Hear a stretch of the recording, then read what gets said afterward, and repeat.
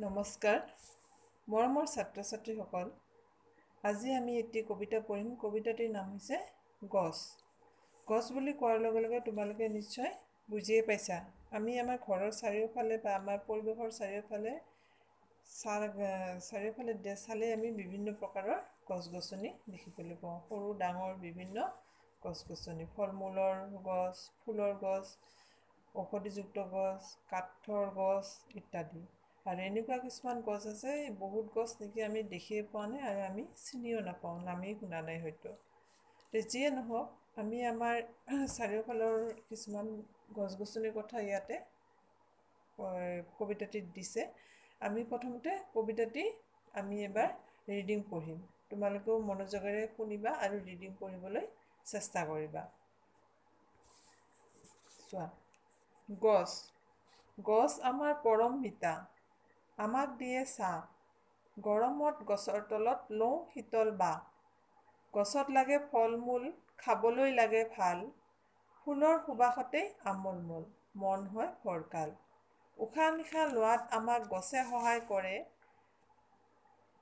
সৰু ডাঙৰ গছবোৰে বায়ু শোধন কৰে। গছৰ কথা কিমান ক'বা কৈ নপৰে অৰ। গছপুলি ৰুই সেউজী কৰোঁ ধৰণী ভৰপূৰ। তোমালোকে নিশ্চয় বুজিলা কি? ইয়াতে মই অলপ কবিতাটি ভাঙি দি ভাঙি দিছোঁ শুনিবা। গছ আমাৰ পৰম মিতা আমাক দিয়ে চাহ। গছ আমাৰ পৰম মিতা মানে খুব আপোন মানে কি? বন্ধু মিতা পৰম মিতা মানে বন্ধু। আমাক কি দিয়ে? চাহ দিয়ে। গছক কিয় মিতা বুলি কৈছে? কাৰণ গছ নহ'লে আমি জীয়াই থাকিব নোৱাৰোঁ। আমি বাচি থাকিবৰ কাৰণে প্ৰয়োজনীয় সকলো বস্তু আমি গছৰ পৰাই পাওঁ। আৰু সেইকাৰণে গতিকে গছক মিতা বুলি কৈছে। গছে আমাক কি দিয়ে? ছাঁ দিয়ে। গৰমত আমি ডাঙৰ ডাঙৰ গছৰ তলত গ'লে বহুত কি লাগে? আৰাম অনুভৱ কৰোঁ। শীতল অনুভৱ কৰোঁ। আৰু সেই আমাক সেইকে ছাঁ দিয়ে। গৰমত গছৰ তলত লওঁ শীতল বাঁহ। ইয়াতে ছাঁ মানে ছাঁৰ কথা কৈছে আৰু বাঁহ মানে বতাহ বতাহৰ কথা কৈছে। আৰু গৰমত গছৰ তলত যদি আমি অলপ থিয় হওঁ বা অলপ জিৰণি লওঁ তেনেহ'লে তাতো কি পোৱা যায়? বহুত ধুনীয়া শীতল মলয়া বতাহ আমি তাৰ পৰা পাওঁ। বায়ু যেতিয়া চলাচল কৰে গছ গছনি থাকিলে তাত সেইখিনি অঞ্চলত কি পোৱা যায়? শীতল বতাহ পোৱা যায়।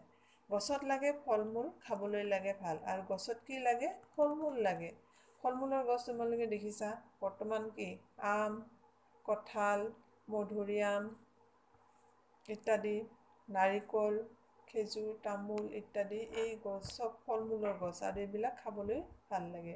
আনাৰস এইবিলাক মানে হয় গছ। আৰু তাৰোপৰি আমি যে দৈনন্দিন শাক পাচলিবিলাক খাওঁ যেনেকৈ আলু বিলাহী ইত্যাদি এইবিলাকো কিছুমান সৰু সৰু গছ আৰু তাৰ পৰা আমি সকলো খোৱাৰ প্ৰয়োজনীয় বস্তু আমি গছৰ পৰাই পাওঁ। আমি যে ভাত খাওঁ সেই ভাতৰ যোনটো ধান চাউল চাউলৰ ধান সেই তাৰ সেইও এটা গছেই। তাৰপিছত ফুলৰ সুবাসতে মন আমোল মল মন হয় ফৰকাল। আৰু কিছুমান গছ আছে যে ফুলৰ গছ সুগন্ধিযুক্ত গছ ফুলৰ সুগন্ধি নথকা ফুল আৰু সুগন্ধিযুক্ত ফুল কি কৰে যদি এপাহ ক'ৰবাত ফুলি থাকে তাৰ চাৰিওফালে কি হয় মানে আমোল মলাই যায় সুগন্ধিতে।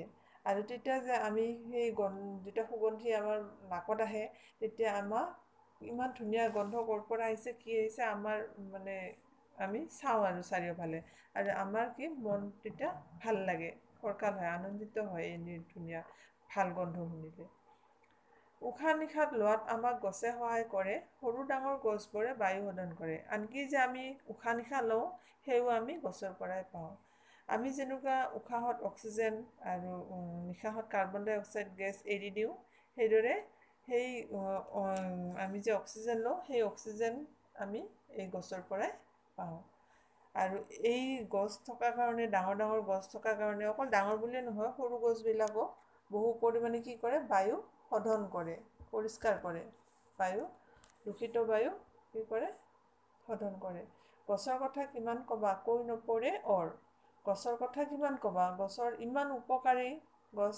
প্ৰতিটো কামতে প্ৰতিটো কিবা আমাৰ মানে গছ ইমান এনেকৈ লাগে গছৰ কথা কৈ কেতিয়াও শেষ কৰিব নোৱাৰি। অৰ মানে শেষ। গছপুলি ৰুই সেউজী কৰোঁ ধৰণী ভৰপূৰ। আৰু সকলোৱে কি কৰিব লাগে আমি? গছপুলি ৰুব লাগে আৰু গছপুলি ৰুই আমি ধৰণী মানে পৃথিৱী সেই পৃথিৱীখন সেউজীময় কৰি তুলিবলৈ লাগে।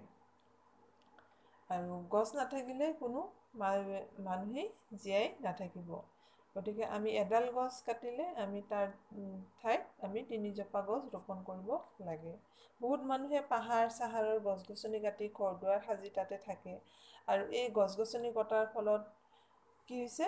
যে জীৱ জন্তুবিলাককো থকাৰ ঠাই কমি গৈছে অসুবিধা হোৱাৰ কাৰণে মানুহৰ ওচৰত মানুহৰ বসতিস্থললৈ জীৱ জন্তু বাঘ চাঘ ইত্যাদি আহে। তাৰপিছত আৰু লগতে পৰিৱেশো দূষিত হৈ আছে গছ গছনি কটাৰ ফলত। সেইকাৰণে আমি সকলোৱে গছ গছনি ইতিমধ্যে তোমালোকে কবিতাটো পঢ়িতো বুজিয়ে পাইছা। অলপ ক্ৰিয়াকলাপত কি দিছে সেইবিলাক আমি চাওঁ হা? কি কৈছে? পদ্ধতি আবৃত্তি কৰি কৰা। তোমালোকে সকলোৱে কবিতাটি পঢ়িবা আৰু আবৃত্তি কৰিব আবৃত্তি কৰি কৰি পঢ়িবা। দাঢ়ি কমা ইত্যাদিবিলাকত মানে চাবা। তাৰপিছত প্ৰশ্ন উত্তৰ দিছে চোৱা। আমাৰ পৰম মিতা কোন?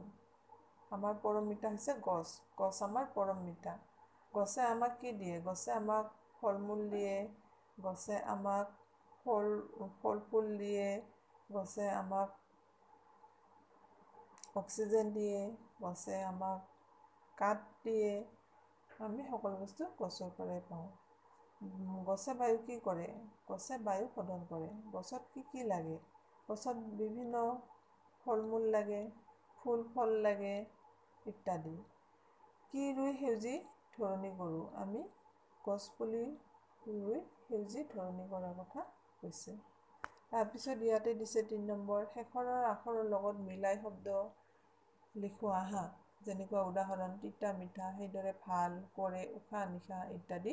এই যে লাষ্টৰ শব্দ আখৰটোৰ লগত তোমালোকে মিলাই মিলাই কেইটামান ইয়াতে শব্দ লিখি দেখুৱাবা। তাৰপিছত আছে খালী ঠাই পূৰণ কৰা পদ্ধতি যেতিয়া পঢ়িছা তাতে তোমালোকে এইখিনি খালী ঠাইখিনি ফিল আপ কৰিবা।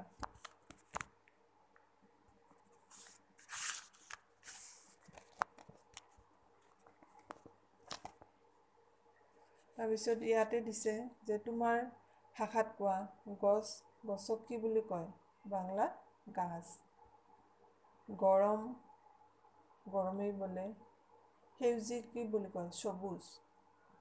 সহায় এতিয়া সহায়। বতাহ মানে হাৱা। ওৰ মানে চেচ ধৰণী। ধৰণীটো চবতে একে পৃথিৱী। তলত মানে নিচে। ভৰপূৰ মানে পূৰা মাত্ৰা শোধন মানে শোধিত, সুবাস এইটো সুবাসেই মানে সুবাসেই বোলে সুবাসটো সুবাস। সুগন্ধ ফৰকাল মানে পৰিষ্কাৰ ইত্যাদি। তাৰপিছত ইয়াতে দিছে, গছ আমাৰ পৰম উপকাৰী, গছৰ পৰা আমি ফল মূল পাওঁ, কাঠ, খৰি আদি, আদিও গছৰ পৰাই পাওঁ, কাঠৰ পৰা আচবাব তৈয়াৰী কৰা হয়। গছে বায়ু শোধন কৰে। ডাঙৰ গছক বৃক্ষ বোলে পাঁচ জুনত বিশ্ব পৰিৱেশ দিৱস পালন কৰা হয়। সেইদিনা আমি গছপুলি ৰুব লাগে। তাৰপিছত উদাহৰণৰ দৰে শব্দবোৰে একোটা খাল বাক্য সাজু আহা যেনেকুৱা গছ গছ আমাৰ পৰম মিতা ফুল গোলাপ ফুল দেখিবলৈ ধুনীয়া। ছাঁ গছে আমাক ছাঁ দিয়ে। ধৰণী আমি ধৰণীখন সেউজীময় কৰি ৰাখিব লাগে। সেউজীয়া গছৰ পাতৰ ৰং সেউজীয়া ইত্যাদি এনেকৈ বাক্য ৰচনা কৰিবা। আজিলৈ এইখিনিৰে থাকক। ধন্যবাদ।